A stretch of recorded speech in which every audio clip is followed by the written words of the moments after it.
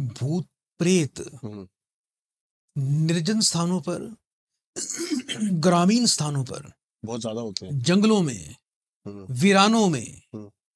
पुराने खंडरों में पुराने बंद पड़े मकानों में पुरानी वेस्ट वस्तुओं में इनका वास ज़्यादा होता है। और कुछ ऐसी बुरी शक्ति भी होती हैं कुछ ऐसी पिशाचनियाँ भी होती हैं जो और बहुत सी बुरी शक्तियाँ होती हैं जो पूरी टोटल नेगेटिव हैं जो दुर्गंध पर ही वास करती हैं। यानी कहीं भी यदि एक दुर्गंध का कहीं कूड़ा का ढेर इकट्ठा हो गया तो वहाँ पर वो वास करती हैं।